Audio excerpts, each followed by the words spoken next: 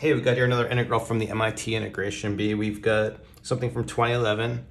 We have an integral from 0 to pi, cos x, cos 3x, cos 5x, dx.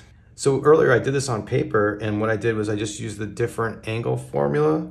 Doing this with the different angle formula was actually kind of long, not super long, but you know maybe it took me five minutes. But I could see at the end that really what they're looking for was a much shorter solution. Let me know in the comments if you had an easier or quicker way than what I come up with, but let's see what I did. So I started with a u substitution, and what I did was u equals pi over 2 minus x. The reason I did that is because it's going to allow us to use the complementary angle formula and set this up pretty nice.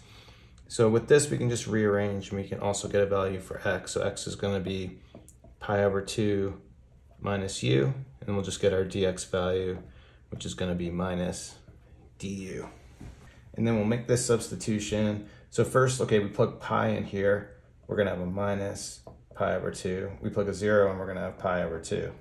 Okay, then for our first cosine, we're gonna have cosine pi over two minus u.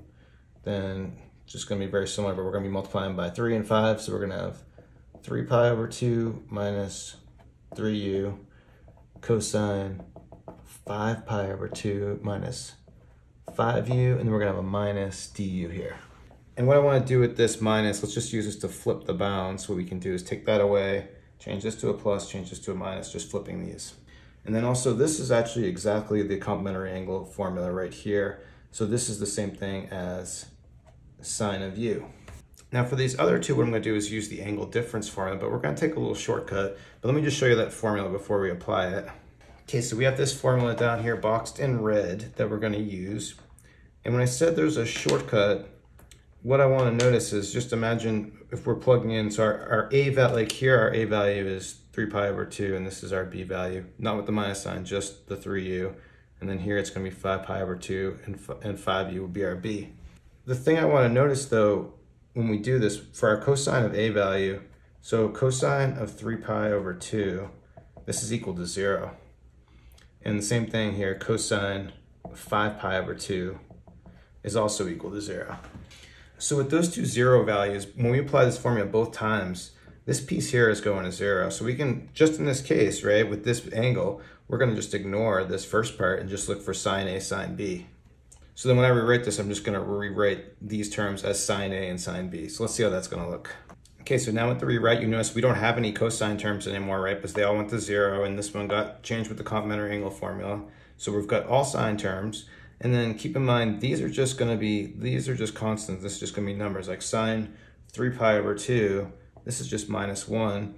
Sine at five pi over two is just one. So we don't have to worry about this one. And this minus one, we can take out front of the integral, okay? And just cross that one off. So then just to make this real clear, we're just left with these three sine functions. Let's just kind of clean it a little bit. So all we have left is sine u, sine 3u, sine 5u.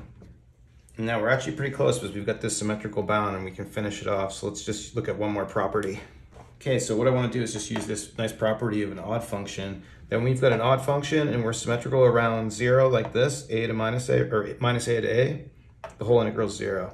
So really all we need to do is show that this whole thing is an odd function. Now we know that each of these, okay, we know in a sine function, we know this is odd, and this is odd, and this is odd. The only thing we have to know is when we're multiplying odd functions. Now, if we just had two functions, if you multiply an odd times an odd, it's even, but odd times odd times odd is odd. The way, the way I remember this is like, I look at it like I'm multiplying, like just say if you're multiplying minus one, if I'm multiplying minus one times minus one, I get back a one we consider that even, not as not an even number, but if we multiply minus one, minus one times minus one, we get a negative, that's an odd function. So since this whole thing is odd, then this whole integral is going to zero. And so our solution for this is just gonna be zero. That's it, thought it was a great problem today, so we'll stop it there. Thanks everyone, please subscribe, have a great day.